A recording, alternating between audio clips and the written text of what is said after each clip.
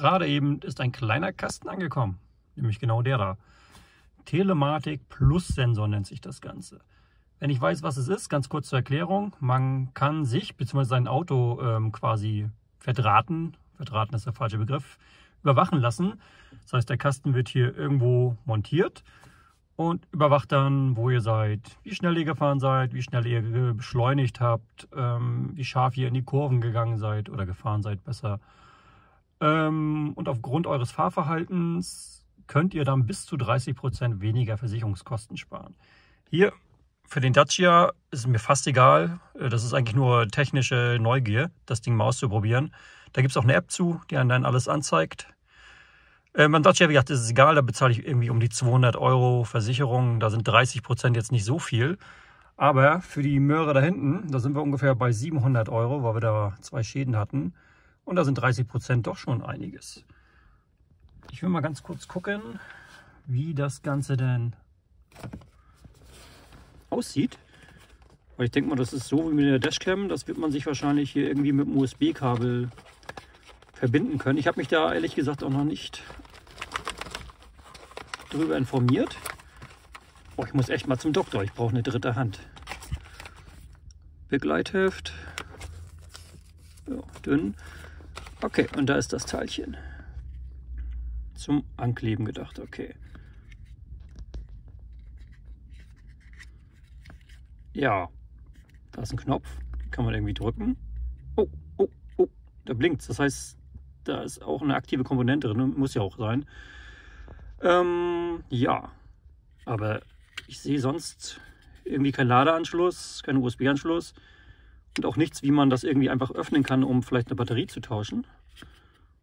Aber steht bestimmt hier in der Anleitung im Begleitheft. Also es ist ein schöner, kleiner, kompakter Kasten. Sieht man ja, meine Hände sind schon nicht so groß und das ist trotzdem ziemlich klein. Ähm, da wird wahrscheinlich so eine Art GPS- und Beschleunigungssensor drin sein. Ach ja, und ich glaube, das Ganze verbindet sich eben mit der App, also mit dem Handy, mit Bluetooth. Dann braucht man auch nur einen fest eingebauten Akku, beziehungsweise so eine Knopfzelle, die hält dann nämlich ziemlich lange, aus der eigenen Erfahrung mit anderen Geräten. Und das war's. Oh, okay. Oh, da waren noch mehr drin. Aufkleber. Nee. Ah, hier. Voraussetzung für Smartphone iOS oder Android. Damit erschlägt man so ziemlich alles. Bluetooth 4, GPS, regelmäßige Verbindung zum Internet. Das Handy dann wahrscheinlich, das Smartphone, genau. Irgendwie müssen die Daten noch übertragen werden. Ah, okay. Barcode drauf. Ähm, naja, Barcode nicht, ich weiß das QR-Code. Einscannen und dann kommt man hoffentlich auf irgendwie eine Videoseite oder sowas, damit man sieht, wie man das einrichtet. Ähm, das werde ich euch jetzt aber nicht antun. Ich denke mal, das wird nicht allzu schwierig sein. Ähm, ja, eigentlich wollte ich nur mal eure Meinung dazu wissen.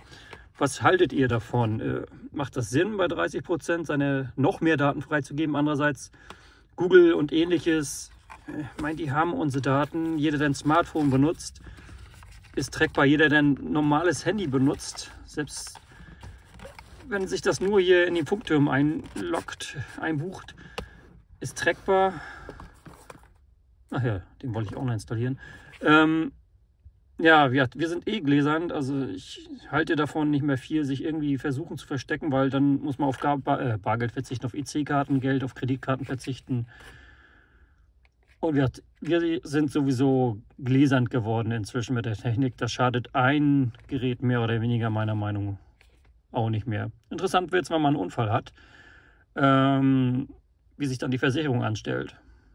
Das wäre so das Einzige, wo ich eine Herausforderung sehe. Ansonsten ja, schauen wir mal. Ich werde euch auf dem Laufenden halten, beziehungsweise die Leute im Springforum, da gibt es, meine ich, schon zwei, drei, die haben sich das auch schon verbaut und haben da ein bisschen mehr Erfahrung mit, auch mit diesen Prozenten sammeln, wenn man mal zu stark gebremst hat oder sowas. Aber ich werde mal meine eigene Erfahrung sammeln, ich bin da echt gespannt drauf. Also, bleibt dabei, abonniert gerne, damit wir die 1000 endlich mal knacken oder ich, damit ich mal live gehen kann und eure Fragen besser zu beantworten. Und ja, wenn ihr Fragen dazu habt oder ich will einfach mal gerne eure Meinung wissen, gerne in die Kommentare. Bin ich echt gespannt, wie ihr dazu steht. Also, bis denn.